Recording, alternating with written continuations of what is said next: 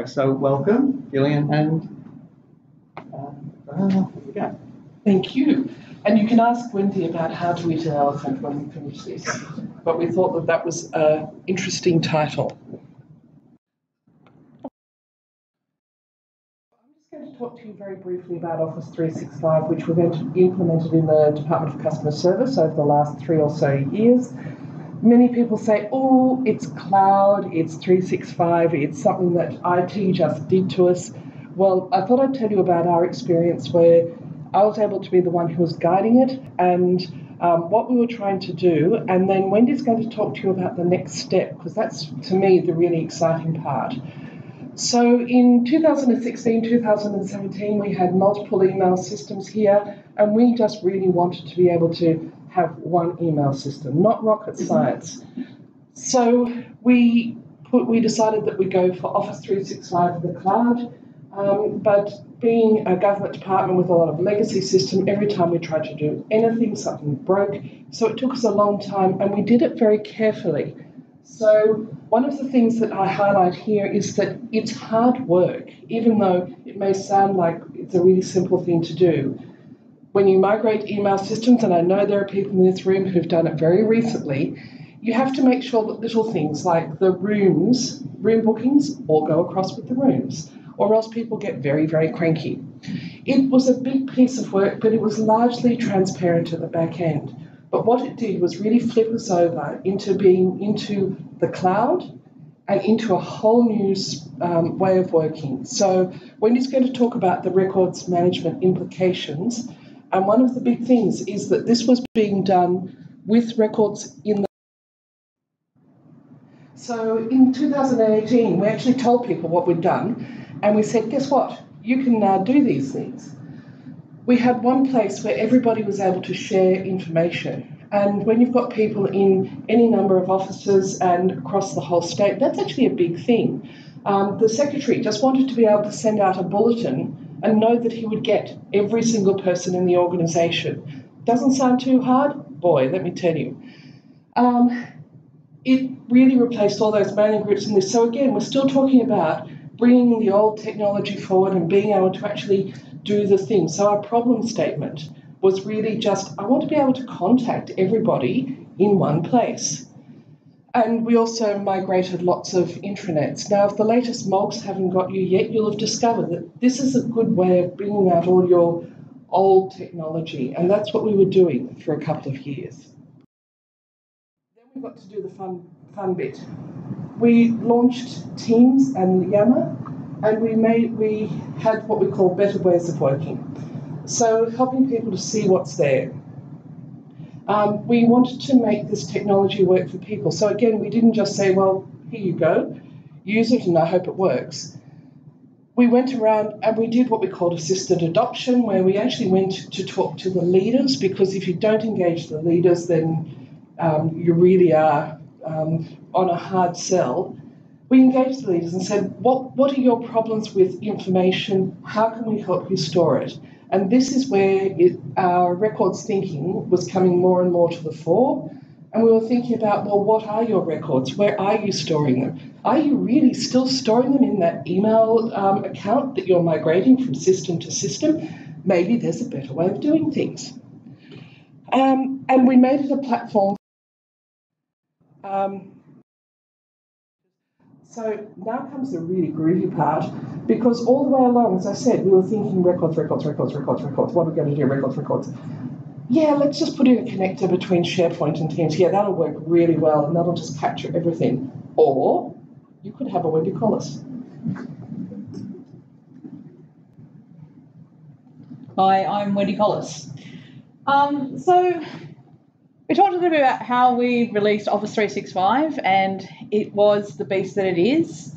Um, but we didn't accept the limitations that it came with. And so we began by running a proof of concept. But I'm going to give you a bit of background to our thinking. I like to think of records as occurring in three phases. The simple phase, everybody worked on the same system, and that system was paper. And we were able to collate it, staple it, file it, put it into covers. Totally awesome. And completely horrible. because working in digital makes things so much more efficient.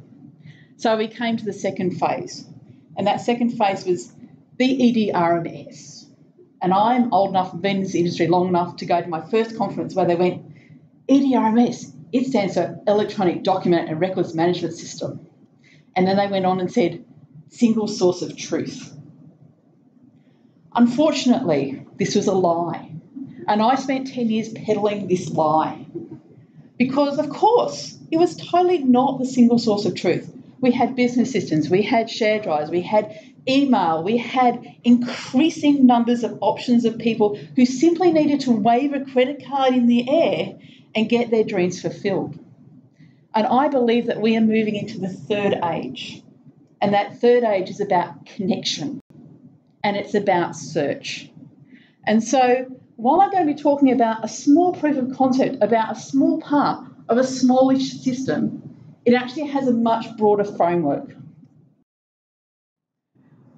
This is a little bit like my organisation. It doesn't make a whole bunch of sense right now. What we had was a lot of people using a lot of business systems, and either the people were asked to put information into TRIM, or the second phase, the, biz, the business systems themselves were putting information into TRIM. What happened was this. Re, please replace the word TRIM with any other EDRMS system you may choose to have. But in our case, it was TRIMS. You can see the multiple there. TRIM was now considered the magic bucket and if you connected to the magic bucket, suddenly your records were compliant. It was fantastic. But of course, that too was also a lie. The thing that you'll also note is that people, systems, trims, not very well aligned. What we want to see is the processes at the head. The processes drive what we do. And people can use their business systems. We manage the records within those business systems. And if we can't, we connect them to appropriate business systems. And we use things like micro connectors to be able to control the information. And you can see my little ring lock trim, that's for legacy and stubborn people. Please note, I have the Icon Records 365. I, I am systems agnostic. I'm loyal to whoever pays me.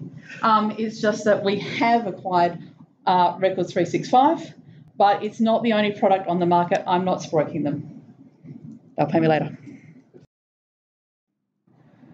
So initially, we only had two options. One, people put people put information into systems. The second, the, the system itself put inf information into trim.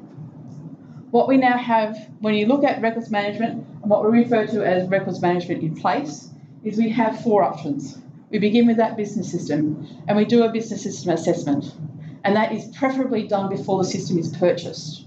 And so we make it part of the requirements.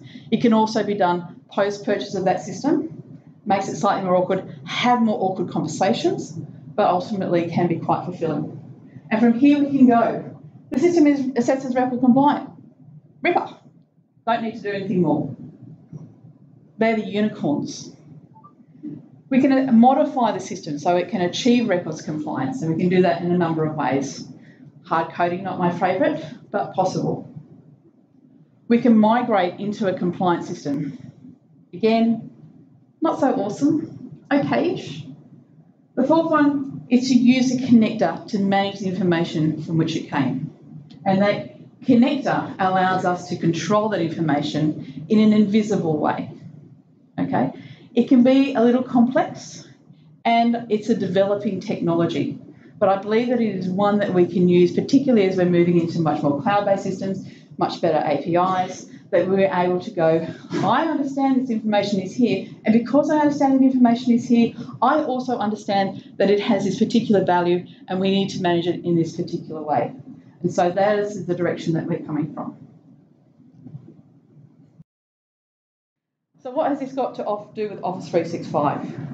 Our intention was not to connect it to another EDRMS system because many people have gone down that route, few people are satisfied, and things are evolving so rapidly that having those connections can be quite fraught. Office 365 comes with its own little characteristic called evergreen. Evergreen means that at any point in time, Microsoft can say, You got this now, man.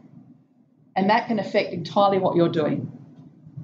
So I don't want to go too hard on the Microsoft bashing. They, they pay my wage and my mortgage. Um, but I do want to acknowledge that Office 365 also has some inbuilt capabilities for records management. It understands the concept of retention. It understands the concept of preservation.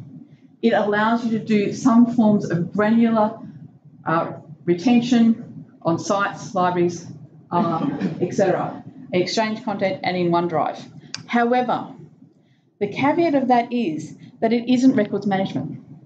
It's just a way of holding information, making copies of that information for a particular purpose. It's very labour intensive, it's based on a US model. If you go down the native Office 365 route for managing your records, God have mercy on your soul. So we had a vision. And our vision was, and our vision is for all of our records, is that people go about their business in everyday life and are not affected by records management. So in this instance, we wanted to manage information in Office 365 in a compliant way, but does not impose an administrative burden onto the end users. So, because of this, we acknowledge that Office 365 is being used not just as a filing system, not just as a dumping ground for documents, but it is a platform. It is what we're going to be encouraging our staff to be using when they are developing information management systems. There has been a lack of compliance, I would say. When people want to be able needing to move things into trim and be using trim. And that is because people have seen through the lie of the EDRMS where we've been going, here's the carrot, it's kind of cool and you know, versioning, and here's the stick compliance. So you've got to do it. And people are like, yeah, I'd rather do the easy thing. So there's a horse training technique which is called make the good thing easy and the hard thing bad. And that's what we're trying to do, make the good thing easy. One can manually move documents from SharePoint to Teams. It's complex, it's about 15 steps, and God almighty, you'd go insane if you had to do it all the time.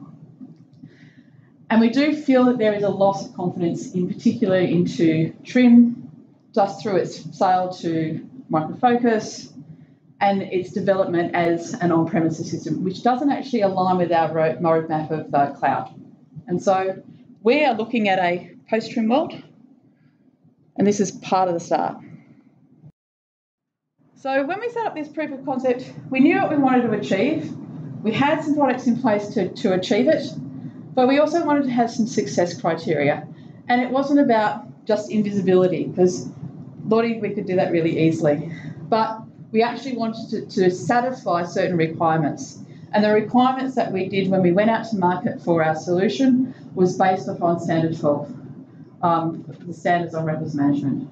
So we wanted to have that auditability, we wanted to have that traceability, we wanted to be able to legally dispose of information. We also wanted our records manager to sign off on it and go, yeah, this is a, this is approved. And this turned out to be really important because I didn't realise how many trim lovers there were in our organisation. People who just went, I've got to use my trim because that then then the, then the records police won't cut me off. And if I can say, well, actually, our records management, our records manager's fine with this, then that gave people comfort. And then it had to have my sign off, so it had to be simple to use. It had to align with the strategy, um, and it had to be extensible and flexible enough for an organisation like our own, which is just in a constant state of flux. I don't need to tell you how complex government can be, but sometimes the complexity of this organisation seems somewhat more complex than it needs to be.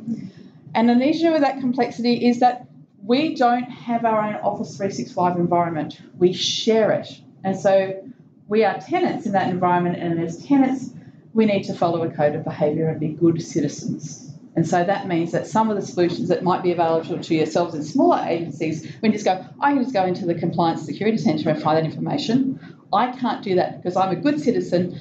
I don't need to know Treasury's information and I shouldn't have access to that. So what is Records 365? So, this is a product from Record Point. It doesn't lift cows into UFOs, but I use this image because what it enables you to do is to connect to a site or to a library or to a drive or to a system. And it does that using a micro connector. In our proof of concept, we were only connecting to Office 365. We did attempt to connect to a shared drive, and I'll talk about that a, bit, a little bit later. But it enables you to, in a sense, whitelist and target what you wish to be analysed from a records management perspective and have that information sent to an application so that it starts to manage that information. So it's using Azure and microservices to understand and control information in other environments. And it can be used in things like Box, Dropbox, shared drives, OneDrive, Exchange. They are working on connectors to Salesforce and other systems. And it's based around rules.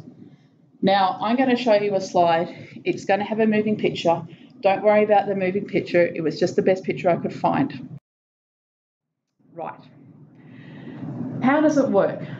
It is a series of if-then statements. So, if it sits within this library and it has the metadata property of procurement and that procurement property is over $80,000, then I understand that it has this retention class and must be kept for these many years.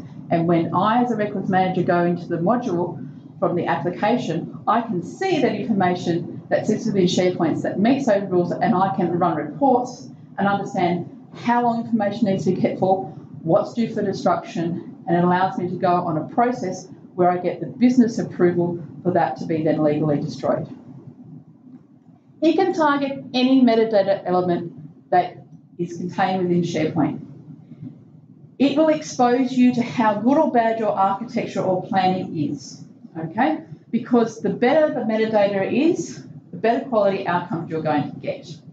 So when we talked initially about, we just released this thing called groups, teams, and if somebody starts a group, we don't have actually any idea, aside from what is in our AD, where that group came from, who is the owner of that group, and what its intended purpose is. And so that is in itself is limiting.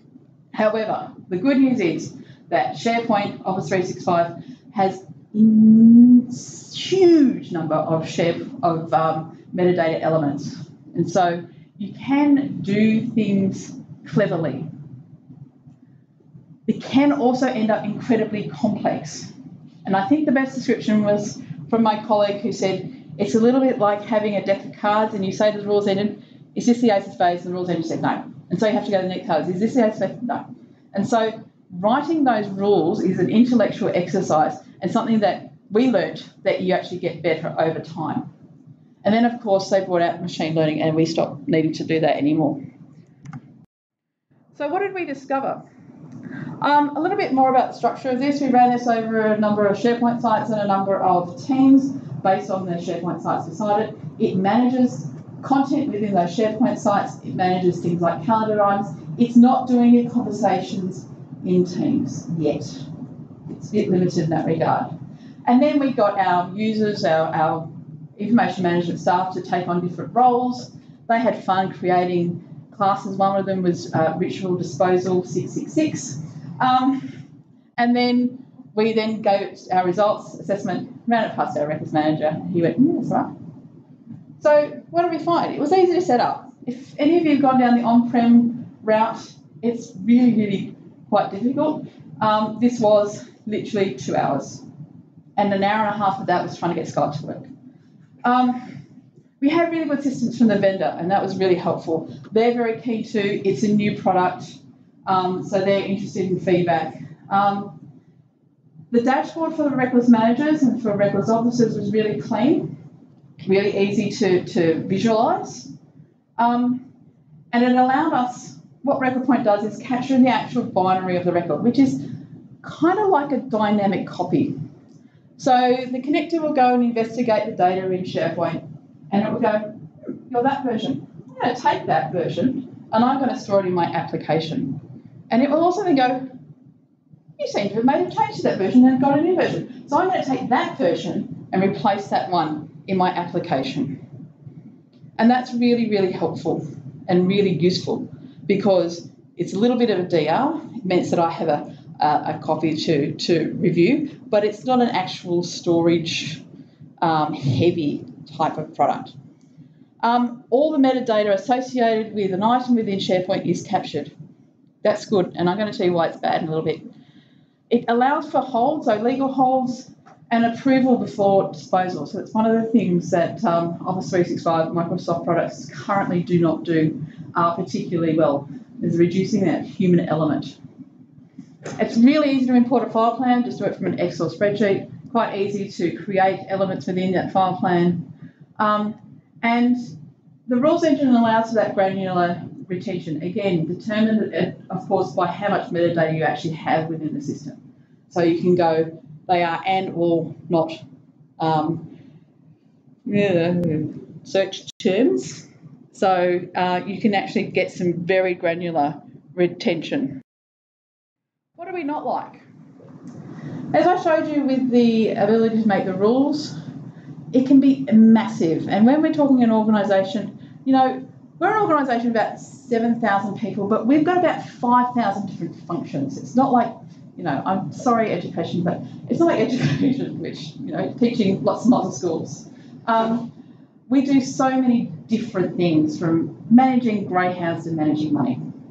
So we could see that actually developing a rules engine was going to be really complex and it was going to uh, end up in this massive sprawl. One of the things that we discovered was that uh, it had a records level disposal, um, but not at the container level. You could create reports, but it would want you to dispose of everything one by one. And I know that the organisation who make Records 365 are looking at that as a development because everybody just goes, yeah, yeah. who's got time for that, man? Um, and the other part of it, when you send a message to an approver to go, come and approve your records, at the moment, there is, I'm going to call it a bug because I'm feeling generous today. There is a bug that allows the approver to see all the records that are due for destruction and not just their own. And that is quite an issue. And in fact, sufficiently that I would say that it was broken. Um, it does capture items that may be irrelevant, and of course, this is a judgment call. So we were finding it was picking up all of our calendar entries saying, Wendy is working from home, David is sick today, those types of things are being treated as a record. And we're like, oh, we need to have a rule about uh, normal administrative practice. But for sometimes, if you were to go, I want that to run on the secretary's calendar, that could be a totes awesome thing.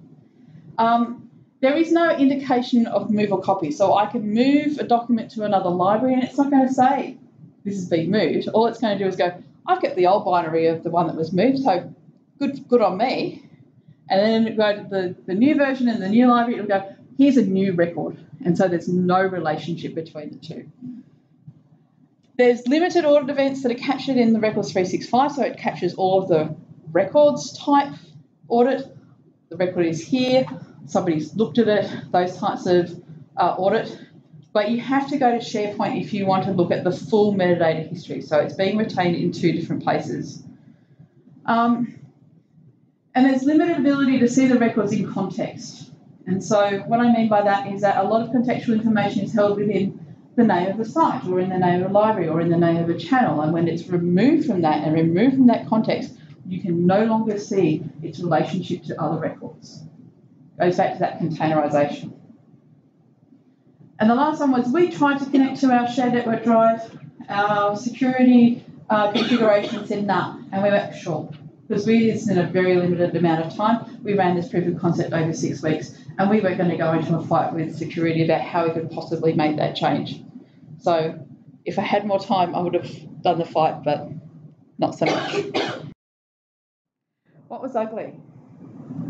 I don't think any of those are terribly showstoppers apart from the one bug. I think there are ways around doing managing that. And one thing I will say about Records 365, and it's true also of SharePoint, it does what it does well, but it's not trim. And it's not going to do anything more than what it says on the box. Okay? So if you want a workflow, sure, run it through a Power App. It's going to collect all that metadata. It's going to show it to you. Is it going to show you every um, step by step in a beautiful process? No, but you could write something in Power BI to make that happen. But the other things about Records 365 was in how it was presented. So you couldn't customize dash columns in the dashboards. You couldn't navigate through any of the aggregations. So I couldn't go, this record appears to be sitting at library, so I want to go with one click into that library. I have to go to SharePoint to do that. Okay? There were duplicate events in the audit log. Again, I would consider this a bug. Um, and then it catches all the metadata elements. You will not believe the number of metadata elements that SharePoint will pre present to you. And there was no way to order them and there was no way to hide them. And so you were presented with a list of about maybe 500 fields that you then could view and adapt at your leisure, but by the 20th you're a bit over it all. So these are feedback that I have given to Record Point. Maybe we might see a change in the future. But one thing I will say is that, as I said, it does what it does very well. But again, I'm going to go back to the word paradigm shift. It is a complete paradigm shift away from how an EDRMS works. Because its role in life is to go, I understand the information is in SharePoint. My understanding is that it contains these particular metadata fields, and I can link that to a disposal authority. It's not there to manage the records itself. Okay? And that is quite a difficult challenge to make. And when we had BIs on this project, they're going, I don't like it. Don't like it. I, I, I just I just don't don't get it. And it took about two weeks I went, oh, oh, it's not like trim at all, is it? Oh, but it does, it does that thing. Yeah, it's actually, oh, this is really good. And it, it will really mess with your head initially, but once you've got it, you've got it. So we're moving into the next phase, and the next phase is machine learning. And this is a module that was brought out by Record Point as we were doing our proof of concept, and we thought, sweet, we're on this train. And that's our current project at the moment. And we're hoping that we'll overcome some of the hurdles that we have in terms of architecture. So, what happens in machine learning is we go, here's a series of awesome documents that represent this particular business function. Now, my bot, go in and have a look at that, learn what this is. I'm now going to release you on a series of other documents, and you can come back to me and say, here's the good stuff. And I can go, right on, or no, nah, go back and learn some more.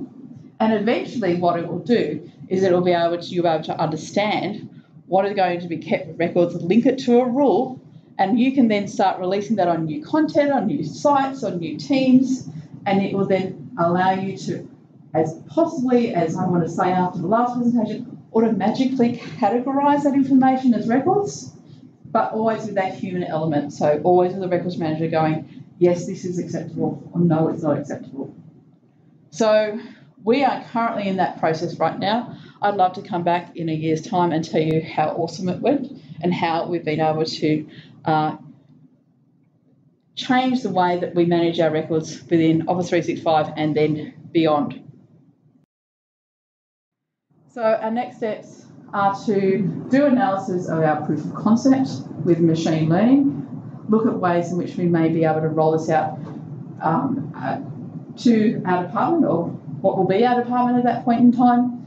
And we want to do this with the most limited intervention with our end users as we possibly can. And we believe that through machine learning, we can start training this information, particularly on things that are sitting within the general disposal authorities. And so that is the kind of thing that when people create a new site, will be automatically be able to capture. And I say that with great optimism because I am by nature an optimist, but I'm also a pragmatist as well. So that's been our journey, and I'd like any questions that you may have.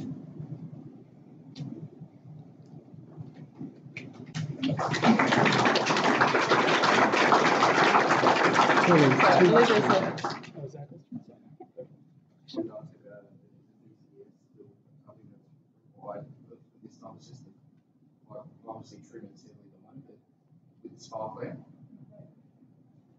So the question was, uh, do we still use a BCS? And this is an excellent question. And I would also challenge the, I've used a trim system which didn't have a BCS, so it was fun. Um, look, we think that BCS is really important, and we would like to incorporate that, particularly when using machine learning, um, because it enables us to understand as much as we can about the context of that information. Um, however, the way that um, Records 365 is, they talk about file plan retention disposal. That's their driver because they are compliance to all this is being sold around the world. Um, that's that's their interest.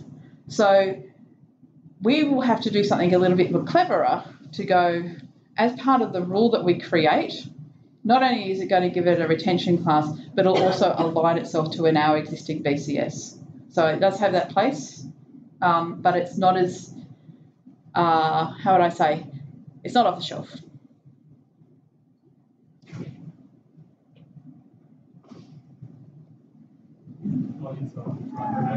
Um, so how do we handle the approach to uh, record disposal considering that's such a very defined uh, level of detail that you're applying at the document level?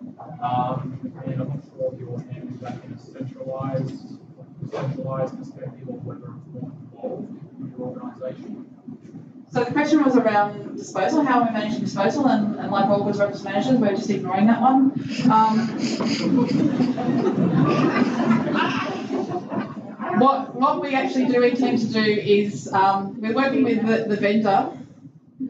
We're working with the vendor to, to try and make that an easier process, and we're also working with the vendor about security trimming so that we can um, have different teams within the organisation managing their disposal. So having our revenue team managing disposals for revenue, having SIRA team managing the records for, for SIRA. So that, that's our approach. But and of course, this is all refills, we actually blew away a whole tenant last week because we wanted to do something new. Um, and so they're all in test anyway. It's all good. It's all good. It's all a drip then.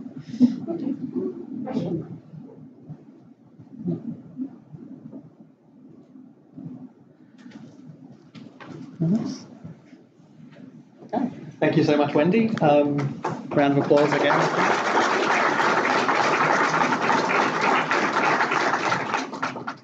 So I think that's um, so I think that's that's really good, and and thank you for both of you too for, for spearheading, you know, something that is relatively new, you know, within government clusters, and especially with the looking at machine learning, you know, there's limited opportunity, you know, I guess limited tools at our disposal to handle the volumes of things that are being created and meeting public expectation for search and all the rest of it. So I think it's um, it's a really promising stream of work. We should watch closely.